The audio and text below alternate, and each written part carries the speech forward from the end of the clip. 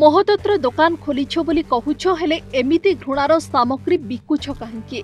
ଘୃଣାର ଏ mega mall କ'ଣ କ୍ଷମତା ହାସଲ କରିବା ପାଇଁ କୌଣସି ଧର୍ମକୁ ନେଇ ଏପରି ଆପତ୍ତିଜନକ ମନ୍ତବ୍ୟ ଦେବା ପାଇଁ ସମ୍ବିଧାନ ଅଧିକାର ଦେଇଛି କି? ଏ ପ୍ରସଙ୍ଗରେ ରାହୁଲ ସୋନିଆ ଗାନ୍ଧୀ ଚୁପ୍ କାହିଁକି?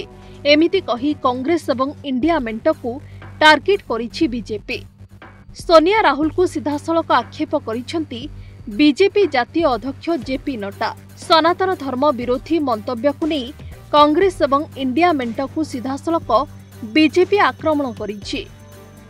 ବିଜେପି ଅଭିଯୋଗ ଆଣିଛି ମୁମ୍ବାଇରେ ଇଣ୍ଡିଆ ବୈଠକରେ ରଣନୀତି ପରେ ସନାତନ ଧର୍ମକୁ ନେଇ ବିପକ୍ଷ ବୟାନବାଜି ଆରମ୍ଭ କରିଛନ୍ତି।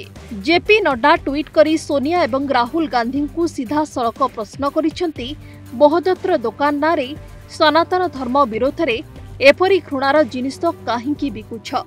ଅନ୍ୟପକ୍ଷେ ବିଜେପି ସାଂସଦ ରବିଶଙ୍କର ପ୍ରସାଦ ଅଭିଯୋଗ ଆଣିଛନ୍ତି ସନାତନ ଧର୍ମକୁ ବଦନାମ କରିବା ପାଇଁ ଇଣ୍ଡିଆ ମେଣ୍ଟ ଗଠନ କରାଯାଇଛି ରବିଶଙ୍କର ସନାତନ ଧର୍ମ ବିରୋଧୀ ମନ୍ତବ୍ୟ ପ୍ରସଙ୍ଗରେ ସୋନିଆ ଗାନ୍ଧୀ ଲାଲୁ ଯାଦବ ଏବଂ ଅଖିଳେଶ ଯାଦବଙ୍କ ନିରବତାକୁ ନେଇ ବି ପ୍ରଶ୍ନ କରିଛନ୍ତି।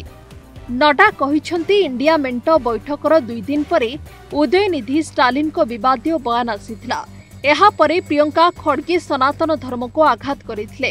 ଆଜି ଡିଏମ୍କେ ମନ୍ତ୍ରୀ ସ୍ୱୀକାର କରିଛନ୍ତି ଯେ ମେଣ୍ଟ ଗଠନ ସନାତନ ଧର୍ମକୁ ବିରୋଧ କରିବା ପାଇଁ କରାଯାଇଛି।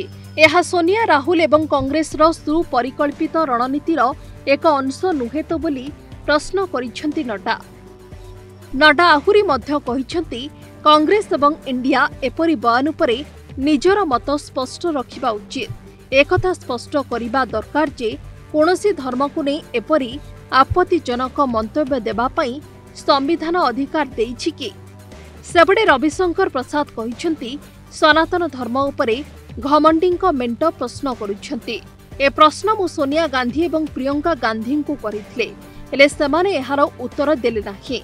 ଅନ୍ୟ ପକ୍ଷରେ ତାମିଲନାଡୁ ଶିକ୍ଷାମନ୍ତ୍ରୀଙ୍କର ବୟାନ ଆସିଲା। ସେ କହିଲେ ଇଣ୍ଡିଆ ମେଣ୍ଟର ଗଠନ ସନାତନ ଧର୍ମକୁ ଶେଷ କରିବା ପାଇଁ ହୋଇଛି। ସେ ଆହୁରି ମଧ୍ୟ ପ୍ରଶ୍ନ କରିଛନ୍ତି ଭୋଟ ପାଇଁ ଯଦି ଧର୍ମକୁ ଆକ୍ଷେପ ତେବେ ଖାଲି ସନାତନ ଧର୍ମକୁ ନେଇ କାହିଁକି କହୁଛି? ଅନ୍ୟ ଧର୍ମ ପ୍ରତି ଚୁପ୍ କାହିଁକି? ଏ ପ୍ରସଙ୍ଗରେ ସୋନିଆ ଗାନ୍ଧୀ କାହିଁକି କିଛି କହୁନାହାନ୍ତି ବୋଲି ସେ ପ୍ରଶ୍ନ କରିଛନ୍ତି। ବ୍ୟୁରୋ ରିପୋର୍ଟ ଓଡ଼ିଶା ସମ୍ବାଦ।